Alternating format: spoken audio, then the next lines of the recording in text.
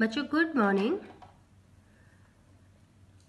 आज का आपका टॉपिक है surface chemistry class twelfth surface chemistry किसे कहते हैं?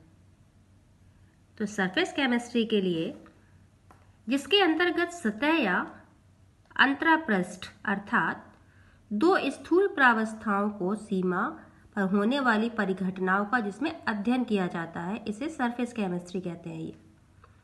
जैसे कोई भी दो स्टेज हो, जैसे सॉलिड लिक्विड या गैस यदि इन दोनों में से किसी के साथ भी कोई नया चेंजेस देखने को मिलता है तो उसे सरफेस केमिस्ट्री कहा जाता है। ये कई प्रकार की होती है एडजॉर्प्शन एंड एब्जॉर्प्शन एडजॉर्प्शन का मतलब अधिशोषण। अधिशोषण क्या होता है? किसी ठोस अथवा द्रव्य के पृष्ठ द्वारा किसी पदार्थ के अणुओं को आकर्षित और धारित करने की जो परिघटनाएँ होती हैं, जिसके कारण अणुओं की पृष्ठ पर सांद्रता में वृद्धि हो जाती है। अधिशोषण या एडोरप्शन कहलाती हैं।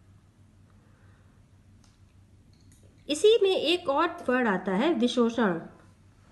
डिशॉरप्शन डिश और ऑप्शन के लिए कहा जाता है कि जिस प्रावस्थाओं के बीच में आप